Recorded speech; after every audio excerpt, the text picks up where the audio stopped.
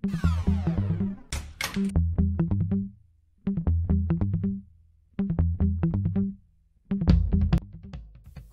memang terkenal akan budayanya. Ketika membicarakan tentang Korea, mungkin pertama kali yang terbesi di pikiran oleh banyak orang adalah Korea Selatan yang marak akan K-pop dan dramanya.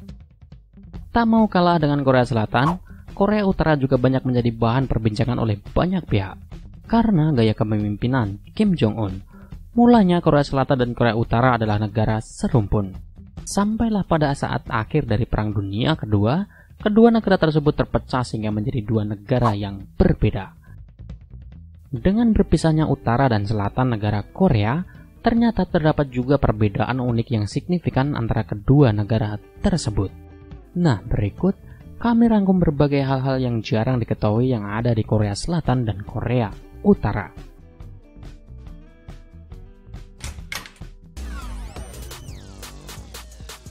Gaya busana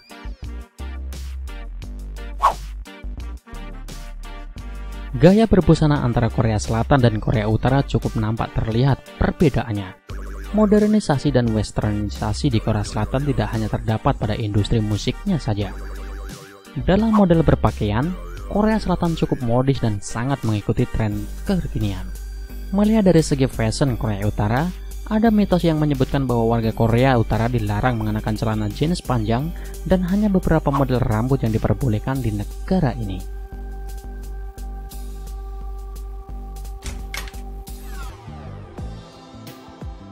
jalanan kota.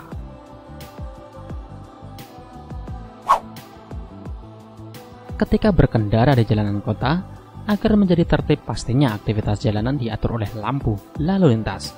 Di Korea Utara hampir tidak terdapat sama sekali lampu lalu lintas untuk mengatur aktivitas jalanan. Meskipun mungkin terdapat beberapa lampu lalu lintas, namun banyak yang telah diganti oleh polisi yang bertugas untuk mengendalikan lalu lintas.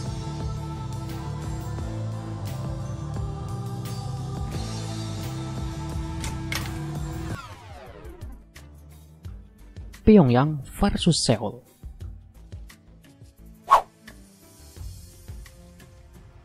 Pemandangan antara Pyongyang dan Seoul tak jauh berbeda. Keduanya sama-sama dipenuhi oleh banyak gedung tinggi. Di Korea Selatan, tepatnya di Seoul, terdapat banyak toko di pinggir jalan yang dapat dikunjungi, mulai dari toko kue, make up, elektronik, dan lain-lain. Tak sedikit juga wisatawan yang datang untuk mengunjungi pertokoan tersebut. Berbeda dengan di Pyongyang, di sana mereka diajari untuk berhemat dan tahu betapa berharganya sebuah uang. Pyongyang dan Seoul sebagai pusat wilayah bisnis juga nampak berbeda di antara keduanya.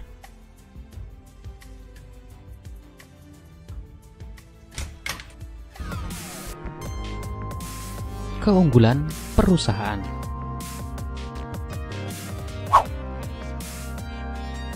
Tentu kita tidak asing lagi dengan brand Samsung, LG, dan Hyundai itu semua adalah merek dari produk teknologi yang dihasilkan oleh negara Korea Selatan. Lain halnya dengan Korea Utara, dikarenakan embargo ekonomi negara, Korea Utara tidak memiliki perusahaan semacam itu.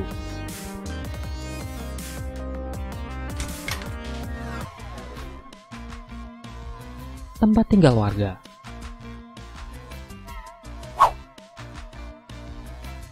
Jumlah penduduk negara Korea Utara memang lebih banyak bila dibandingkan dengan jumlah penduduk di Korea Selatan. Apartemen di Korea Selatan sangat beragam harganya sesuai dengan fasilitas yang diberikan. Harga sewa sebuah apartemen kecil di Korea Selatan mencapai 2 miliar rupiah per unitnya. Sedangkan di Korea Utara, menariknya adalah mereka tidak perlu membayar biaya sewa apartemen apabila mereka sudah terdaftar dan memiliki status menikah.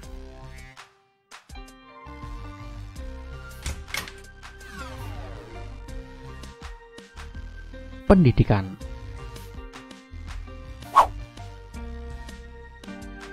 Sama halnya sebagaimana mata pelajaran dasar yang diajarkan di sekolah, pendidikan di Korea Utara dan Selatan juga mendapatkan materi pelajaran seperti matematika, geografi, seni budaya, dan bahasa Inggris.